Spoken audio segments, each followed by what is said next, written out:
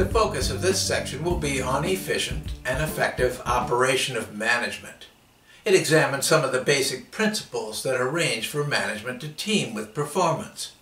These principles promote the entire organization becoming focused on getting things done.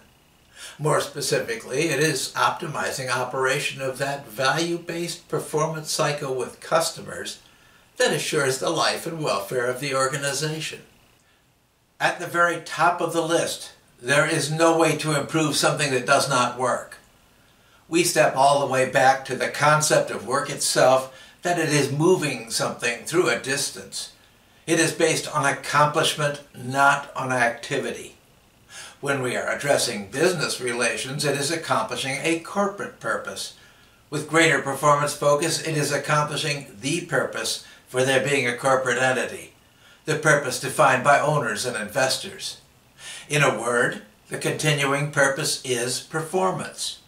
It is completing a symbiotic performance cycle with those outside the corporation. It is delivering value to customers so that their purchase decisions will support the continuation of the corporate effort. In this sense, we are not going to fix modern management. The very concept of a management system improving what it does will cause failure, as management does not do performance. Our challenge is witnessed by the division of management from labor, a challenge to the very concept of management as bringing the resources of the business together to gain a performance result. And then we have measurement of management by what it accomplishes, a purpose that defines the valued result from management, and it is gaining performance through those who are managed. It is measured by how much it costs to gain valued results. As noted from the beginning, privilege-based management does work, but it works poorly as it is focused on doing something else. It sees to the maintenance and enhancement of privilege. In general, it is focused on running organizations as something different than performance. Our performance measure for smaller management effort is an hour of non-performance effort supporting four to six hours in productive work.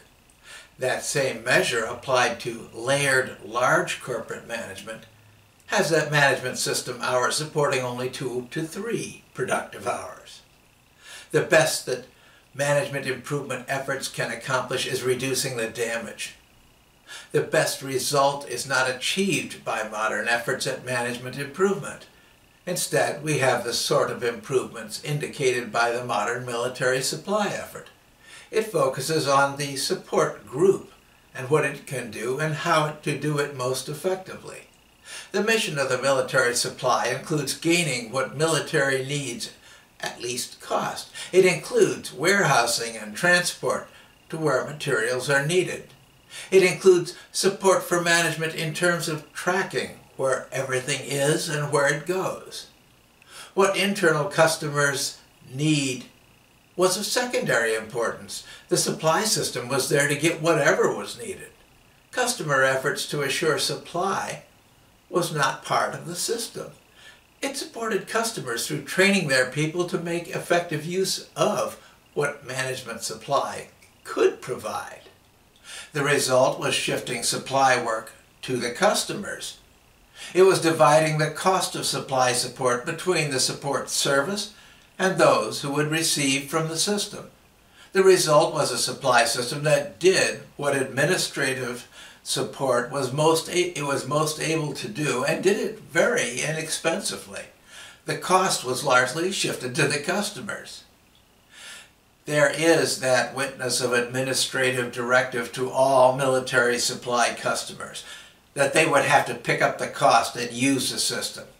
It was having to order the customers to use the system or they would start getting some of the supplies and materials outside the system, then there would be loss of central control. The directive was for military unit customers to support the supply system, not for the supply system to provide support that the units would most value. It changed the definition and direction of support. Again, administrative approach does work, but it tends to be very expensive. It does not support the teaming of administrative support efforts with the performance efforts of the larger organization. One of the common directives for improving management has become cutting costs. And a common direction for cutting costs has been shifting support responsibilities to those who are to receive the support. It provides for the support element to claim improvement even as it increases what it costs to operate the larger organization. The concept of cutting away the fat of the performance area is indeed a central theme in productive efficiency work. It is eliminating those things that are wasteful, those efforts that do not contribute effectively to performance.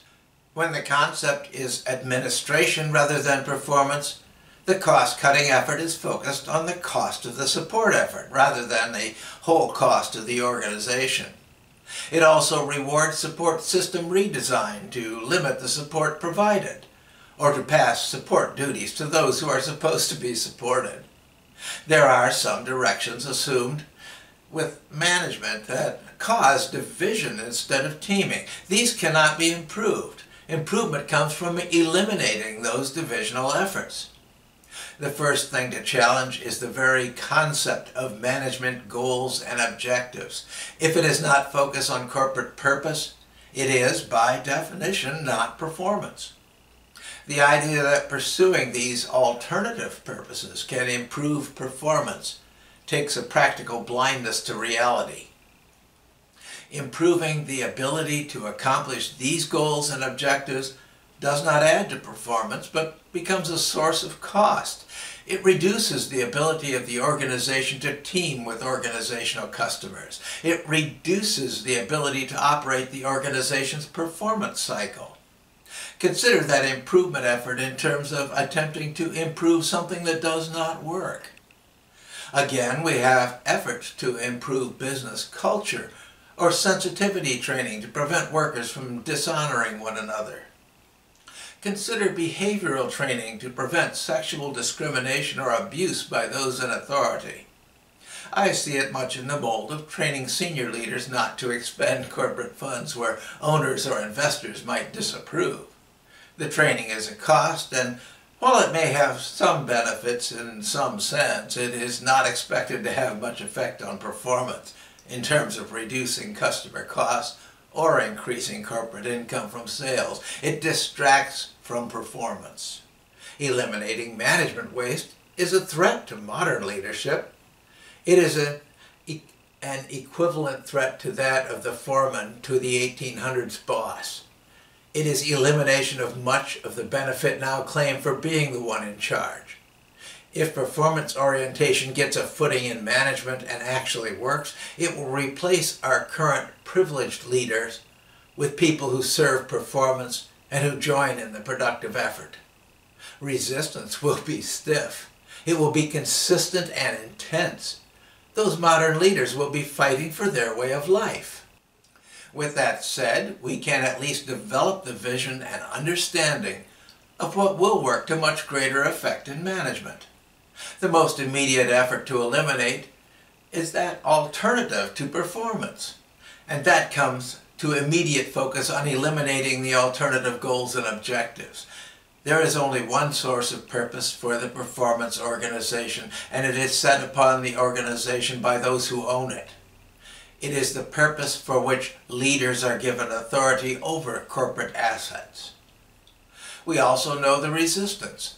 It is that this would somehow eliminate planning for the future and planning to handle changes. The unrelenting answer is that performance is not a goal. It is the purpose for the organization. Plans for performance or reacting to changes are not separate management goals or objectives. Focus on performance is the value delivered by exception managers. It is not a matter of privilege, but of performance. Another area for elimination is attempting to manage by slogans and attempts to influence workers outside their performance purpose. The wonderful lesson is that workers on a production line have no need for something else to bring them together to get the work done. It is coming together that has value. It is being able to rely upon each other to get something done that has recognized value. Problems with disagreements and interpersonal dislikes are not a characteristic of performance.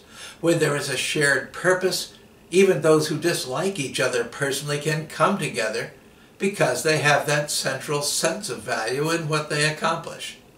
Will a foreman use his position to sexually harass a worker on a production line? The answer is that this is most unlikely while the line is running, and their common focus is on accomplishment. Interfering with the worker would be interfering with everyone else on the line as well. They have a shared result. The whole work group would turn on the manager who refused to service their performance effort. With variability of humans, it will eventually happen, but probably result in getting rid of the offending work leader. As in the Westinghouse studies, management trying to support those who perform is far more effective than management actually accomplishing something through its efforts. The value is in working with those who are productive rather than exercising authority for their benefit. In a like understanding, we can find value through eliminating administrative requirements upon workers and foremen. All those workers and foremen efforts that are not performance have a cost that is being placed upon those who are doing the work of the organization. If there is a need to recognize failed or exceptional performance, then it needs to be the team that recognizes that person, not those in privilege. Administration, of course, will raise the specter of being a matter of contract, that they are bound by law to force others to accept everyone they hire as a fellow worker. Can you guess who writes contracts that would put such requirements on workers? Those elements of contract that do not serve performance are to be eliminated, not raised up as some sort of reason to justify failure to perform.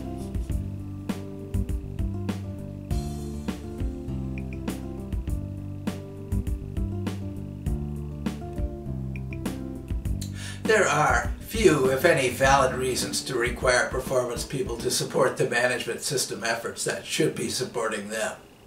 The more time and effort it takes to gain support, the less valuable that support is and the less reason for it to continue as part of management.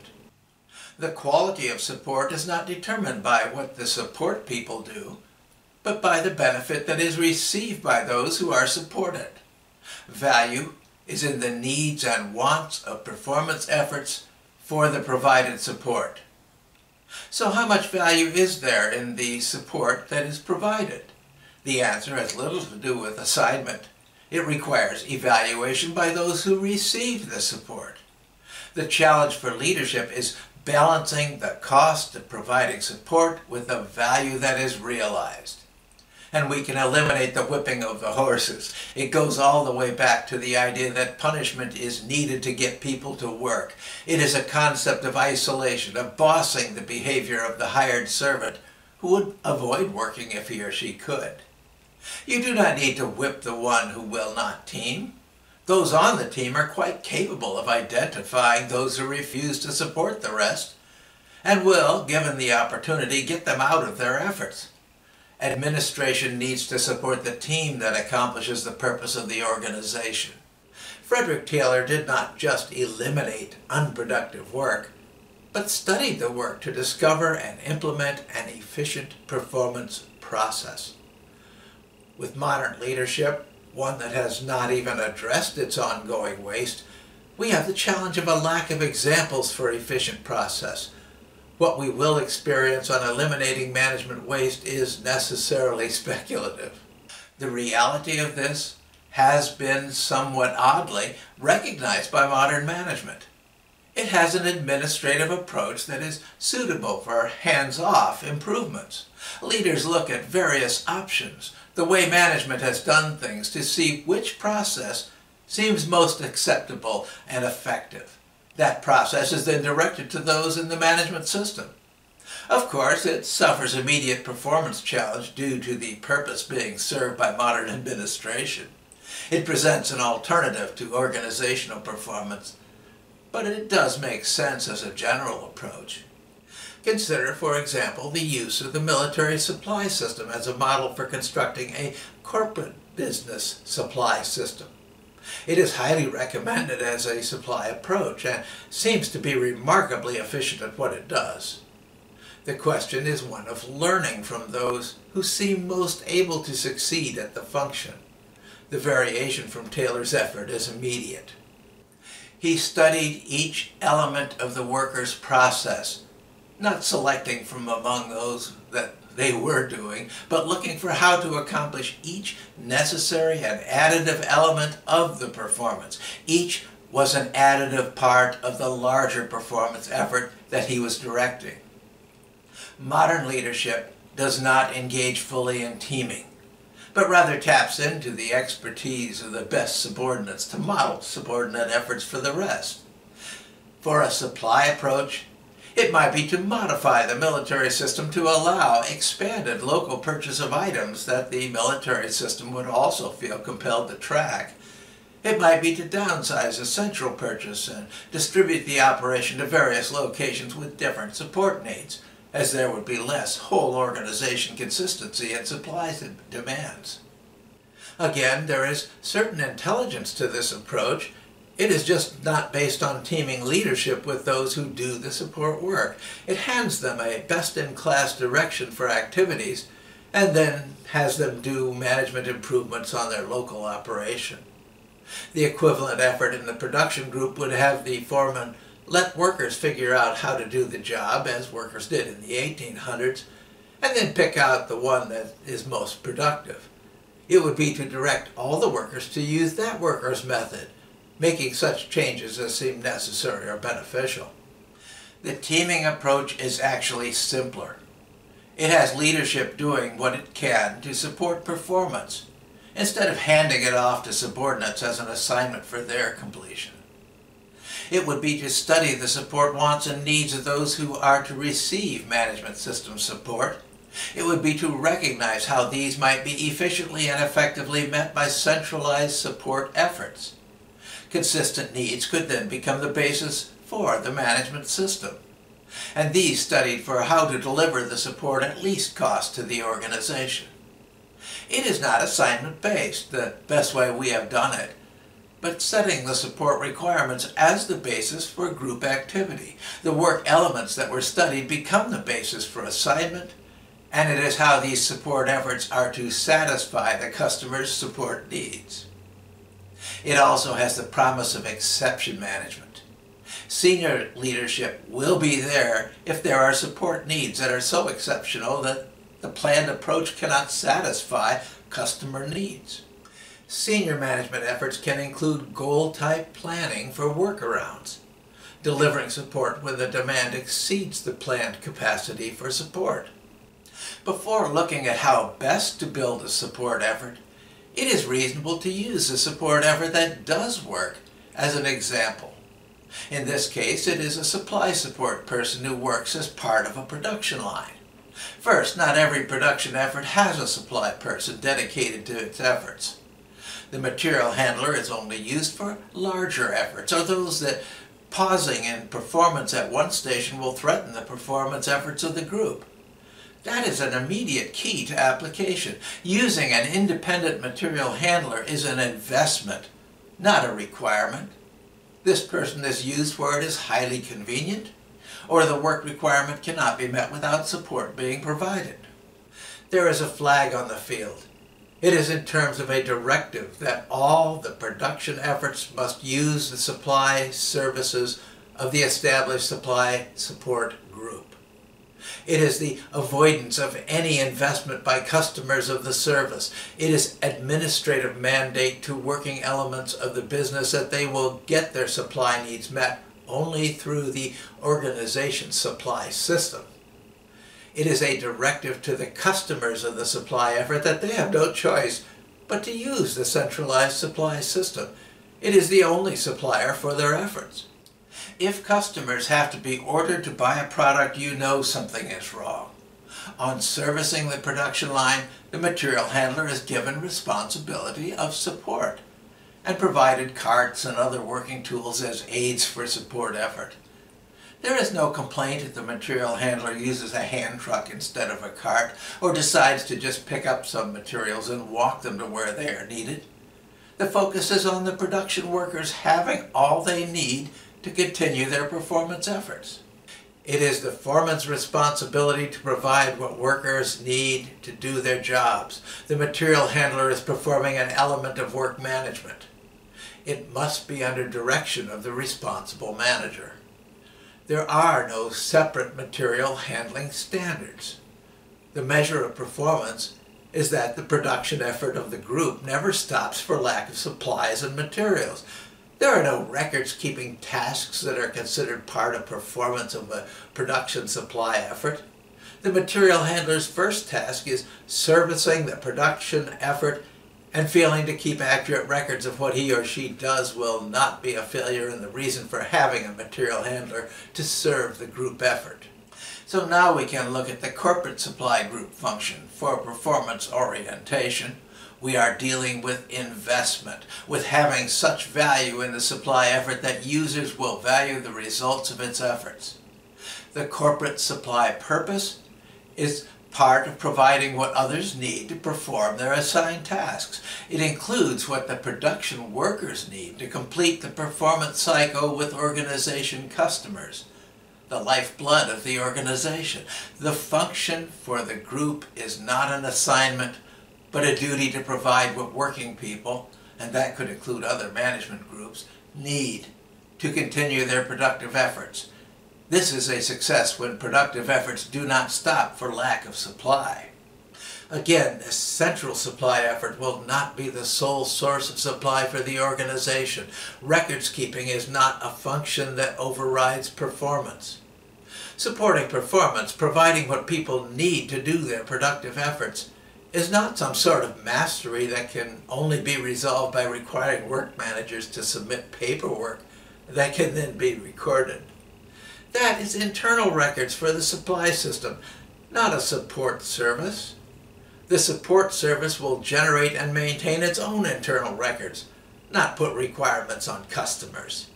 The very idea that a supply group needs someone to come and tell it what to provide smacks of waste. It is the duty of the group to know what others need and to assure that they have it. As the material handler observes the operation of the production line to assure that his or her services are meeting their needs, so the central supply group should be observing operating areas to assure that their needs are served. And when it comes to changing the supply requirements, the supply group is part of the larger performance team performing as a team member to identify what management will have to provide for the people who do the work under their management. In summary, the problem of how to efficiently and effectively provide support to a performance effort has already been solved. Our change effort will not require reinventing the wheel, but learning from what we know works. The deeper challenge is the teaming itself. Teaming is not a problem as people will naturally team. The challenge is in leadership doing effective management and providing support for the performance. The challenge is that leadership is busy doing other things and have a culture where such things get handed off to subordinates. Teaming for performance is unacceptable to the privilege-based culture. It crosses the barrier that leaders put in place having a production manager act as a team leader for support efforts requires him to exercise privilege and be the center of the performance, eliminating even the need for leaders to, to run the business.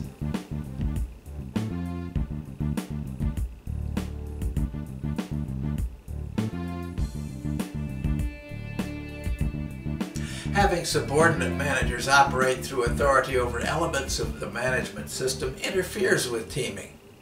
Leaders do not have a way to continue in privilege through organizations like this. They must either start to manage it themselves or deny the teaming approach. They face much the same challenge with the handling of a human resource function. We do not have an easy equivalent in the production team, but do have some performance examples Consider that a production group has two no-show employees who are sick. The specific production effort is critical to operation, and there is only ability to continue with a single person out. There are three general ways for this to be handled. The HR office might contact temporary worker sources and rapidly get someone there. The foreman action might be to team with other foremen whose efforts are less demanding, having a worker reassigned for the day to fill the critical need. Higher level performance management may be called in to direct the reassignment in accord with senior level priorities. The HR office involvement requires teaming and probably requires coordination with the production management to authorize the use of a temporary employee. The teamed reassignment from another group would be noted to the HR office if there was a records keeping requirement. The higher level manager involvement would be as an exception manager, stepping in at need to support the efforts of those who do the work. Our performance orientation adds a second vision to this activity. None of these happens as work that was assigned from organizational leadership. They involve subordinates taking charge and making things happen because a failure to do so will be threatening to the larger performance of the organization. Senior leadership probably would not even be notified about the need or action as part of getting it done. The reason for this is that privileged leadership has isolated itself from the production area, and the actions of production leaders is not a matter of immediate concern. Simply, in the administrative culture, the involvement of senior leadership was minimized by assigning responsibility for performance to someone across that barrier between management and production. As a matter of history, interference in production manager matters, even though a necessity for running the business, has a history of reducing organizational performance. Leaders commonly hand the ball off to production area managers and assume that they will take care of the details. As with the supply support effort, we have a separately authorized admission HR effort the same management challenges arise as in the use of an established internal HR process to provide services. We have the same reliance upon the service to define and limit the service and the same basic requirement for support by customers to do the effective paperwork the HR internal system maintains. What is true for almost all internal support efforts in modern management is that they have historically established and approved ways to perform. The focus is on process, on running the existing systems instead of on results.